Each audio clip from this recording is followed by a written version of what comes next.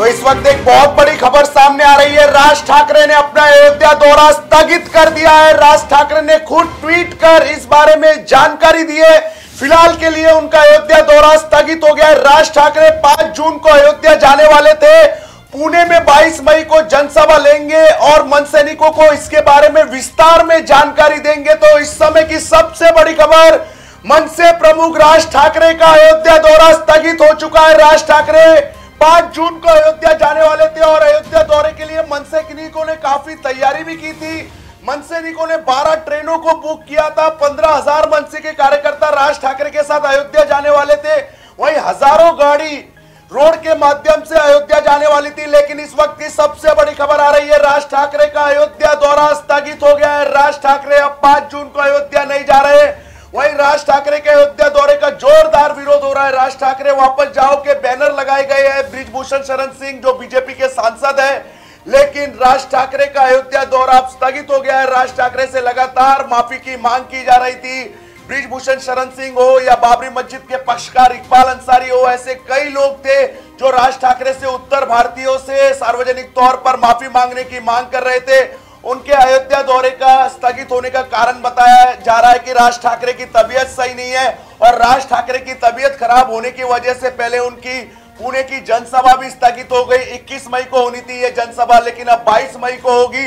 लेकिन इस वक्त की सबसे बड़ी खबर राज ठाकरे का अयोध्या दौरा स्थगित हो गया है। अब राज ठाकरे आगे की जानकारी 22 मई को पुणे में जो जनसभा होने वाली है, उसमें देंगे। लेकिन राज ठाकरे अब पाँच जून को अयोध्या नहीं जा रहे हैं। मनसे की तरफ़ से बहुत बड़े पैमाने पर तैयारी की गई थी राज ठाकरे के अयोध्या दौरे को सफल बनाने के लिए।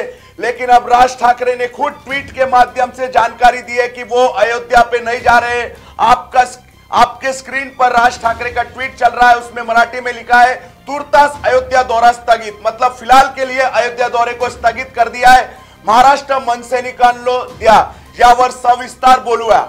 तो मतलब उन्होंने कहा है अपने मन सैनिक और महाराष्ट्र के लोगों को कि 22 मई को वो इसको लेकर जो जनसभा करने वाले हैं पुणे के गणेश कला, कला क्रीड़ा केंद्र में उसमें वो सविस्तार जानकारी देंगे क्यों अयोध्या दौरा स्थगित किया है। तो इस वक्त की सबसे बड़ी खबर राज ठाकरे का।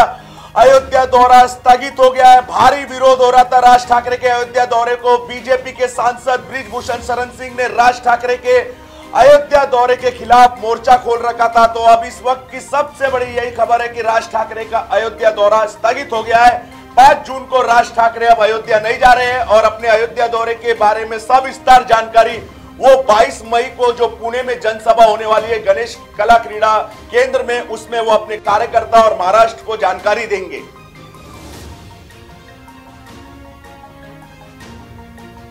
चलती लोकल से युवती को फेंकने की कोशिश। मुंबई में बारिश का रेड अलर्ट मुख्यमंत्री ने जारी किए नए दिशा निर्देश। शाहरुख खान की बेटे आरिन खान गिरफ़्तार। महाराष्ट्र सरकार का बड़ा फैसला। 15 अगस्त से मुंबई करो को लोकल में एंट्री खबरों का शहंशाह मुंबई बोले तो मेट्रो मुंबई।